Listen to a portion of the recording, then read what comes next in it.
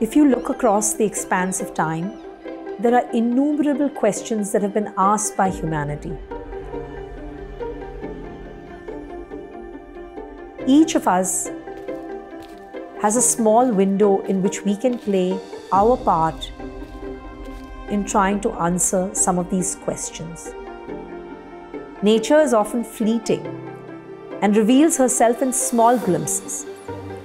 I have a certain enthusiasm and passion in finding these moments and sharing them with the world, no matter how big or small they are. Sometimes you lay a brick in a building, and sometimes you lay a foundational brick of the building. But every brick is important as it contributes to putting together the edifice of understanding.